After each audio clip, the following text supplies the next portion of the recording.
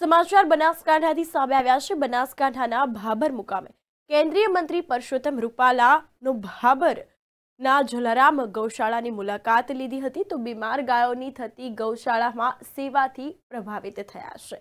આ અંતર્ગત હરિધામ ગૌશાળા મુકામે સમસ્ત મહાજન દ્વારા આયોજિત સ્વાવલંબન સંમેલનમાં ભાગ લીધો હતો. તો ગુજરાતની ગૌશાળા તથા પાંજરાપોળને એક કરોડ આઠ લાખના ચેક પણ અર્પણ કરવામાં આવ્યા છે.